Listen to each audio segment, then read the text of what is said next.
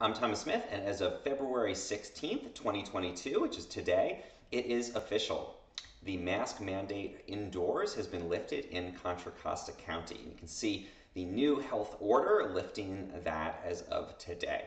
So this applies to vaccinated people only, um, and it applies to indoor settings in Contra Costa County. It's also bringing the county in line with new guidelines from the state, as well as 10 other Bay Area counties and the city of Berkeley.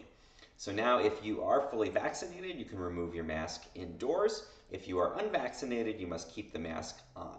Um, now, even though this, the county has made this change, it doesn't necessarily mean that every business will comply with that. Businesses are allowed to set their own policies.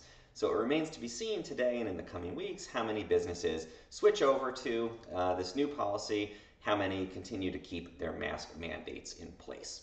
Also important to note that there's certain places where this new order does not apply and where masks will still be required.